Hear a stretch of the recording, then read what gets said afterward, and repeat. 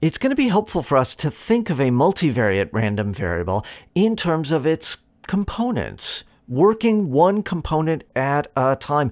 Each of these will wind up being a random variable in its own right. Let's say that we have a joint probability density rho.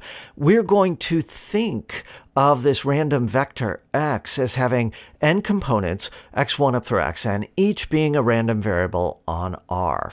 Now, the joint probability density satisfies everything that it satisfied before. There's nothing new here. It has net mass 1. You integrate the probability element to get the probability.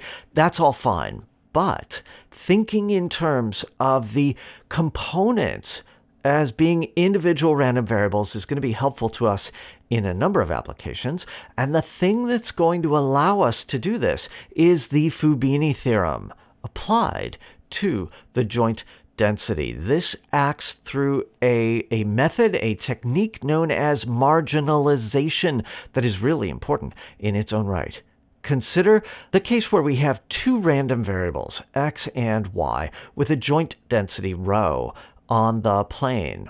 We're going to define the marginal density on x, rho sub x, to be the function given by integrating the joint density to eliminate all y dependence. That is, rho sub x is the integral of rho of xy dy as y goes from negative infinity to positive infinity. Now, this is a probability density on x. Why? Think about it. What's the probability that the x variable, the first component, lies in the interval from a to b?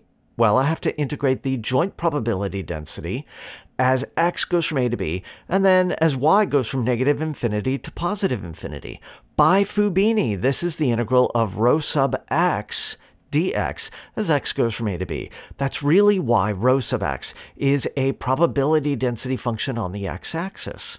Likewise, you can take that joint density function, integrate as x goes from minus infinity to positive infinity, and get a marginal density on y. That is rho sub y.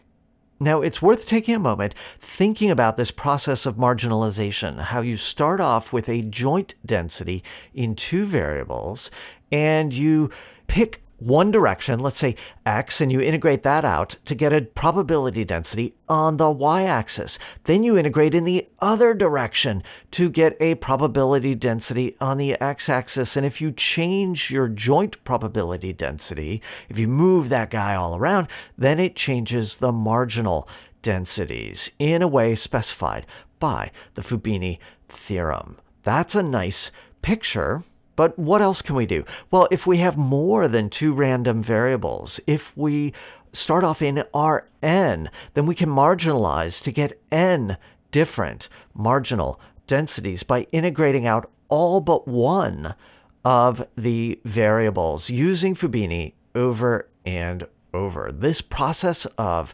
marginalization, of working with marginal densities, is going to be really helpful to us.